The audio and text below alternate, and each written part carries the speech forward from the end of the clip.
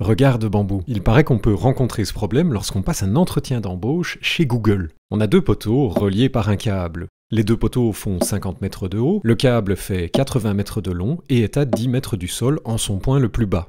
Quelle distance sépare les deux poteaux? Pour s'en sortir, des connaissances en physique semblent requises, mais moi je suis un statisticien et j'en ai rien à cirer.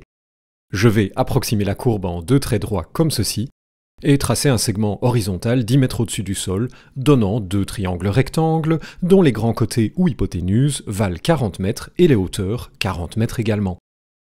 Il faut trouver la base des triangles. Ah, voilà Pythagore, qui nous rappelle que dans tout triangle rectangle, le carré de l'hypoténuse vaut la somme des carrés des deux autres côtés.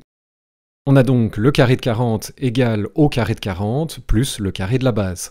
On isole le carré de la base, qui vaut 40 au carré moins 40 au carré, donc 0. Donc la base vaut 0. Oups, aurait-on fait une erreur? Eh bien non. Comme la base de chaque triangle vaut 0, on en tire que la distance entre les deux poteaux vaut approximativement 0. Et c'est quoi la réponse exacte? Ben en fait, pas besoin de connaissances en physique. On attache le début du câble au sommet du premier poteau et on le fait descendre de 40 mètres le long du poteau. La seule possibilité ensuite, étant donné que le câble fait 80 mètres, c'est de remonter le long du même poteau de 40 mètres. Les deux poteaux sont donc distants de 0 mètres.